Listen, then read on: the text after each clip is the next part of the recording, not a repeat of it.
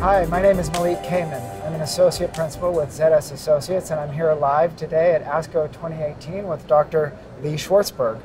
Dr. Schwartzberg is the executive director of West Cancer Clinic and also professor of medicine and chair of the hematology oncology department at the University of Tennessee. I'm curious if you have any categorizations of the types of endpoints that either are being used today or that you think will be used in the future.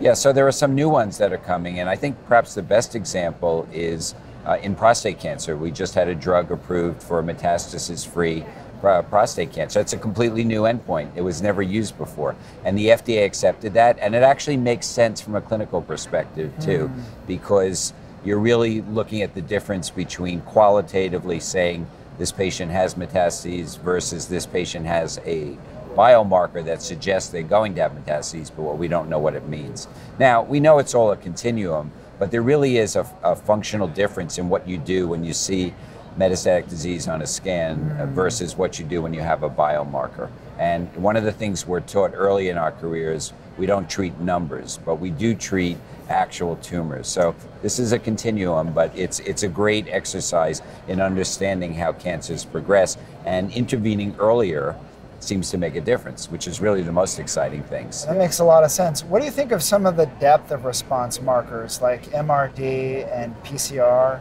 I think depth of response is important because uh, the the time to response and the duration of response only tell part of the story.